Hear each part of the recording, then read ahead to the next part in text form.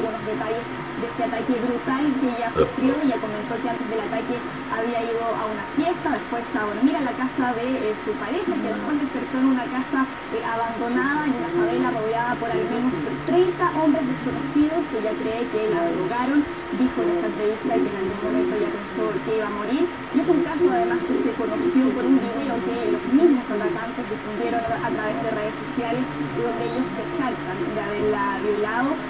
Y ella acusó además a los policías que la interrogaron de tratar de culparla de algo que ella no hizo. Dice que le habían preguntado qué hacía ahí, si ella había tenido sexo grupal antes. Y eh, también toda esta información hizo que tuvieran que remover al, del, del cargo al jefe de la policía de crímenes en Río de Janeiro porque dijo en un comienzo que él no estaba convencido que esto eh, se tratara de una violación masiva, una situación que ha despertado varias protestas dentro de Brasil, también muestras de apoyo desde el exterior y ella agradeció todas esas muestras de apoyo, sin embargo dijo que se siente como basura que todo esto le ha generado un estigma, que no puede salir a la calle, mientras la policía sigue llevando a cabo operativos en distintas favelas de Río en busca de sospechosos, ahí veíamos algunas imágenes de eh, algunos sospechosos que hay hasta el momento y ya ordenaron la captura de seis personas que se cree